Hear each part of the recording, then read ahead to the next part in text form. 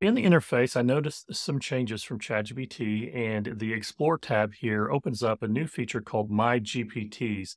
This works much like their plugins used to work like, and I'm not sure what the implications are for all the plugin developers that are out there, but currently what is shown here under My GPTs are those made by OpenAI, starting with their most popular, that being DALL-E or image generation. But also, and this is just a brief rundown of what all is available here under this section, you also have data analysis. You can drop files in and have them analyzed. You can also revert back to ChatGPT Classic, and that's the latest version of GPT-4 with no additional capabilities. You've got game time, and this is where you can quickly get explanations or board game setup, rule dispute resolution, etc the negotiator being your advocate, helping you to negotiate better, creative writing coach to improve your writing skills, Cosmic Dream, it's a visionary painter of digital wonder that you can try out. Tech support advisor, this is where you can ask specific troubleshooting questions, problems with your printer, for example, or your Comcast internet service. I feel your pain.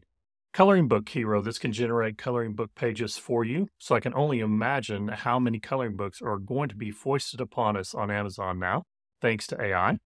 Laundry Buddy, you can ask about that strange stain and get more feedback.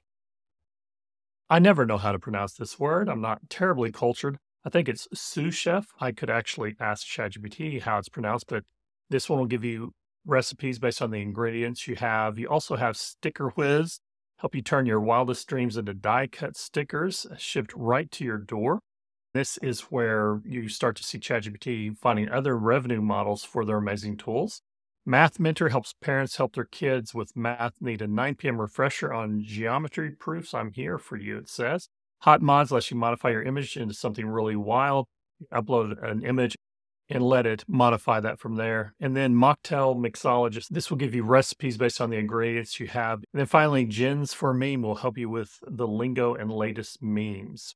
And last but not least is the Create a GPT that is in beta coming soon. You can customize a version of ChatGPT for a specific purpose.